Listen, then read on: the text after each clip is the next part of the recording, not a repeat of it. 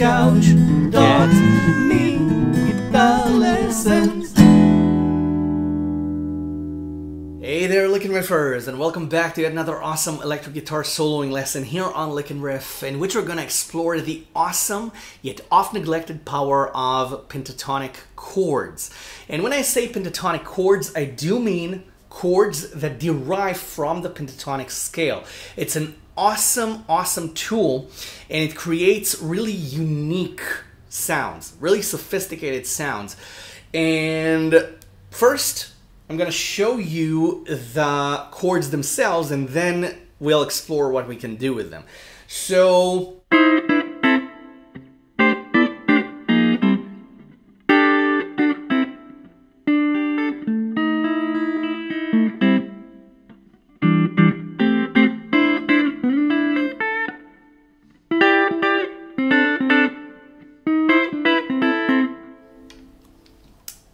Nice, right?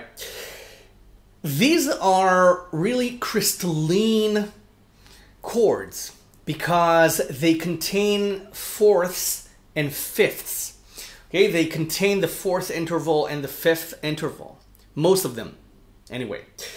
Now, um, those that contain the flat five note, the blue note, really um, create the more sophisticated jazzy sounds, the dirtier, more earthy sounds, because those create the um, the ninth sound, or the flat nine sound, or the sharp nine sound. So that's the that's the basis. That's why those chords sound so sophisticated. Now, what I'm doing here is I'm playing A minor pentatonic, you know, 8 5 8 5 7 5 7 5 7 5 8 5, the normal core root position. I'm also adding the flat 5 sometimes, okay, which is 8 on the third string. So we have 8 on the first, second, and third strings.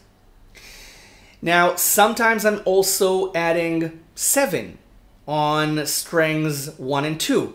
And this enables me to play 8, 7, and 5 on all three strings. Okay, but this doesn't sound as powerful.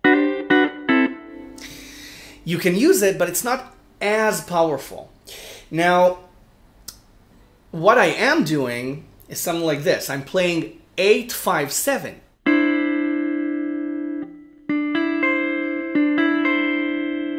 I'm also playing 858.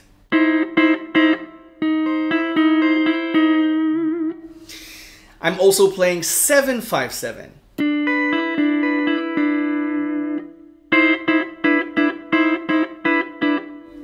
So if you play 858 and then 757 and end on 555, you get a really cool sound.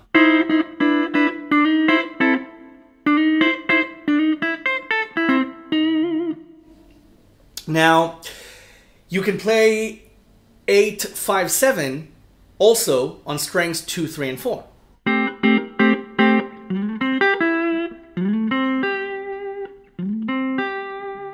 Okay? It works as a solo line as well, a single note line.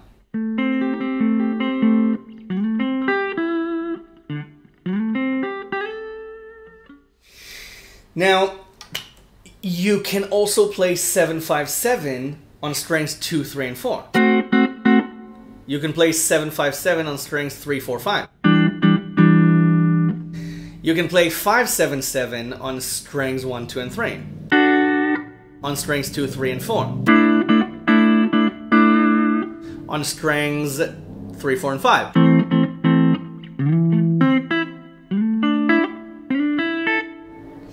Now, these become minor and sus chords.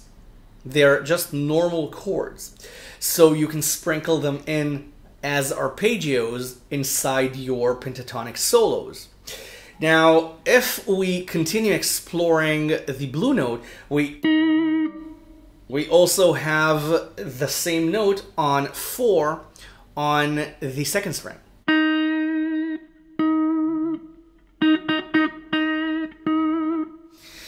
So you can also use that. You can play 4, 5, 7 on strings 2, 3, and 4.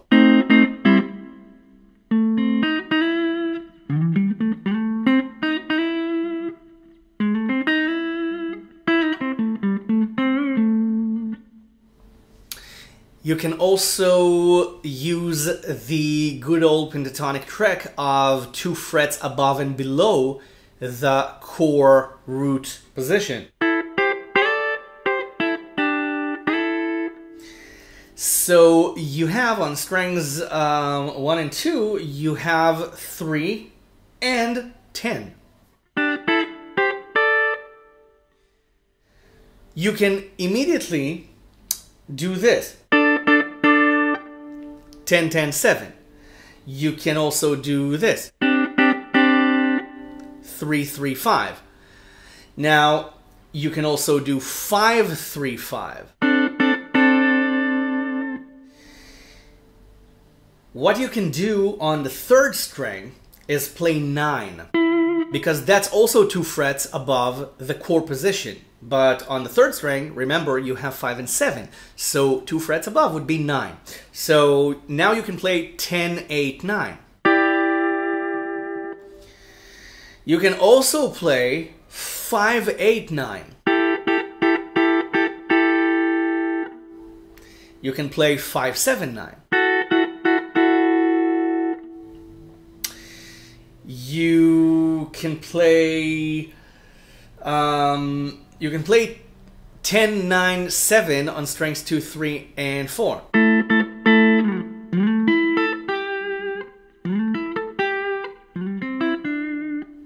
See, it works as a nice arpeggio.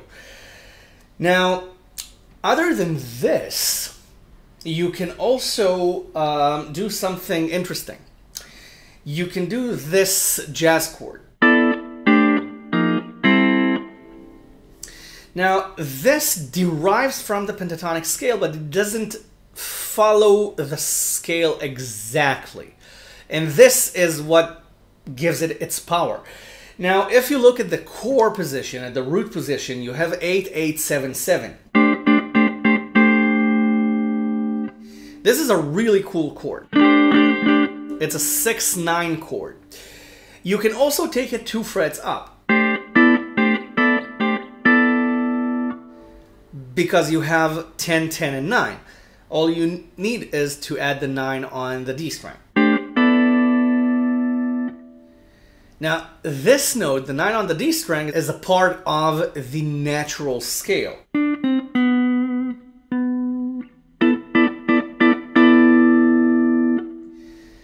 So we can do that.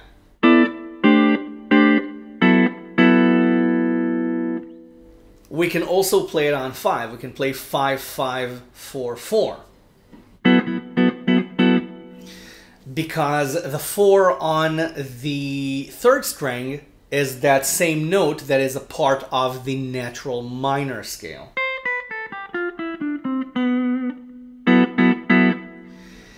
And the 4 on the D string is that Dorian note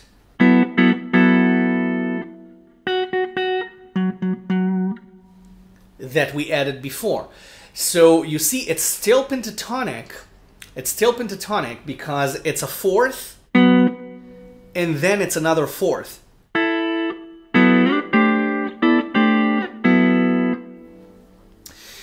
Now, the interesting thing is because it's a jazz chord, you can also approach it from below. So you can play 4 4 3 3 and then 5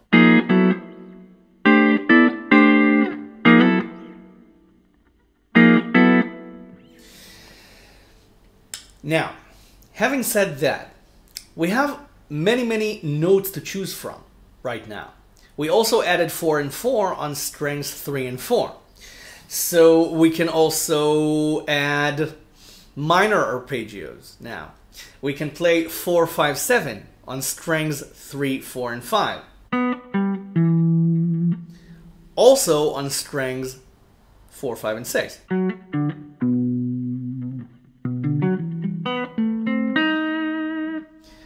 Remember, we already had this arpeggio, but on the second string. So we have 4, 5, 7 on almost all string sets.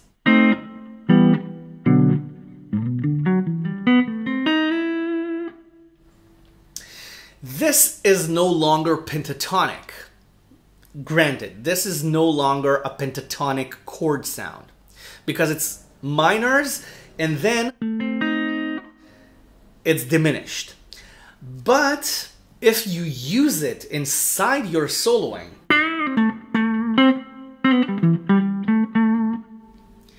it really enhances your pentatonic lines.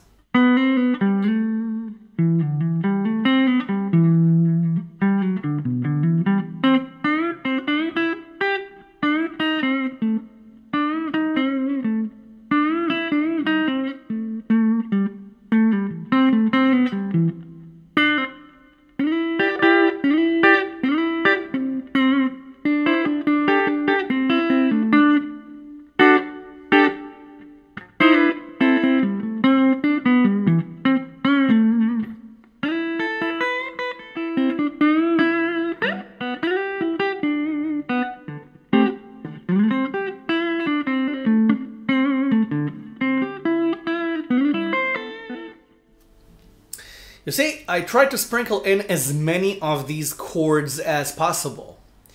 And it doesn't end there. It doesn't end there. There are many more chords you can explore. It's just that they're more uh, sophisticated sounding chords. Because if you're playing 5 on strings 2, 3, 4, and 5, this is a chord. This is a jazz chord. This is a ninth sus chord. If you play 8, 7, 7, 7 on strings 2, 3, 4, and 5, it's a 7 sus 4 chord. You can also use those.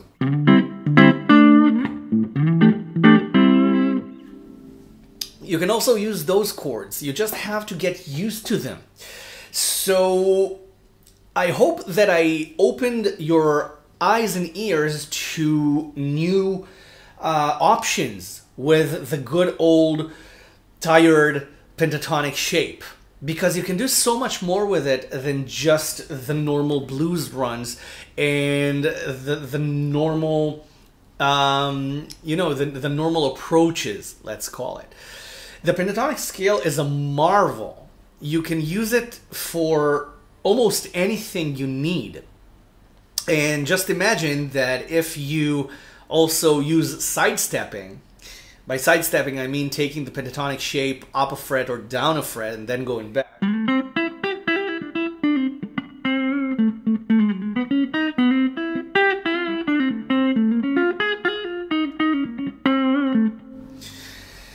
You, you can also use that with all these chords that I just showed you. This is how you create really sophisticated solos without really doing anything.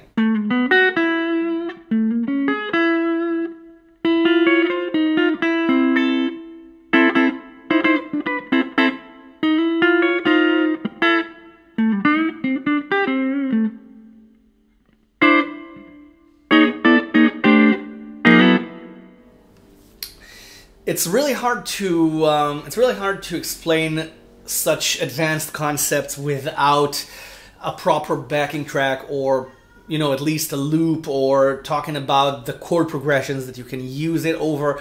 But this is outside the scope of this lesson. Um, so thank you for watching. I'll see you the next lesson. Subscribe to the channel if you haven't already. And have fun creating pentatonic chords